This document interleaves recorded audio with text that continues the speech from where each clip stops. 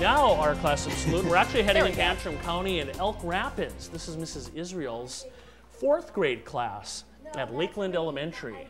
We were there a couple years ago for class salutes, I think, in the spring. So we're back making a visit, and they were going over their, uh, reviewing their math answers when we Oh. stopped in. So a math lesson, and uh, fourth grade, reviewing math. There you go.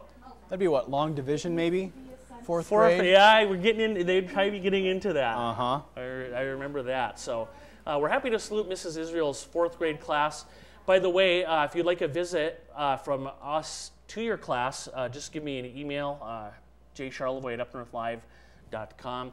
Also, we're giving away a new thing here, apple juice to every class. So uh, if we stop by, we'll, we'll drop off some juice at the school. Sounds good to me. Very fun.